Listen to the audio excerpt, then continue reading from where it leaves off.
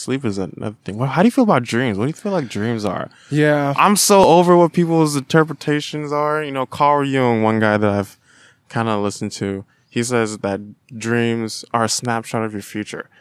I'm like, I hope not. I hope shit. What I do do sometimes is maybe if I see like a symbol, I'll like look it up, maybe get some interpretation. For example, I saw a snake in my dream. It was just a snake. It was slithering. It looked pretty big. Just a snake. I looked it up and you can type in like snake totem and what the snake means. Infin- inf- infinity, the death of something, the restarting of new. A lot of Wow. But it's just like, what the fuck does that mean? Yeah. What is my snapshot in the future of that? So, I used to dream all the time. wow. Now I don't. I know that I'm dreaming, but it's not. It's nothing like it was before. Mm. I started taking medications. Wow. Uh, yeah, yeah, like back, like maybe a couple of years back, hmm and I think they might have fucked with my dreams.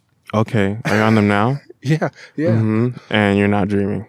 I am dreaming, hmm but I just don't remember. Like I dreamed last night, Right. but that was because I was out late and I was. I don't know. I had I had some weird energy. So are you saying this is like a lucid dream? No, I just remember that. You know what it probably is? I always used to dream when I napped.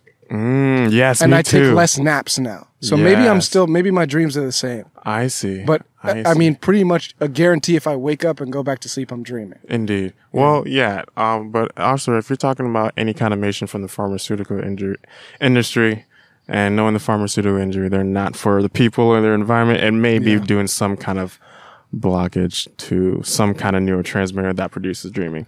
They but, block the dream part of my brain. Oh man. No, I just dream. I just had a dream last. night. Yeah, yeah. Um, people say smoking weed prevents dreaming, and I'm just like, Not for me. Not, yeah, yeah. It, I hated dreaming when I was Mhm, high. That was mm. really scary. mm, just too vivid, too. Too vivid. Too much. Oh, I, I yes. just wanted to be awake. Yeah, I just woke back up. So I just waited out. Oh man. So do you do you I feel like at certain times you have those dreams that it wouldn't it's nice to believe that your dream is real.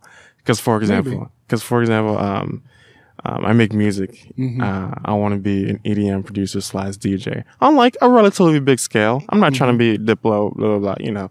Um, and I would have dreams of like being in a studio or um, visions of like performing. Yeah. I'll see my name on like a flyer, just, you know, these little subconscious things. And do you feel like dreams have any connection with like the outside, the waking world, the waking quote unquote waking world?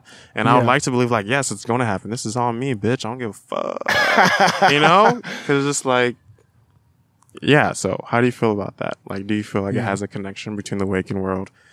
Any kind of connection? Yes. Yeah. I think the connection is that whatever's in your dream was in your head.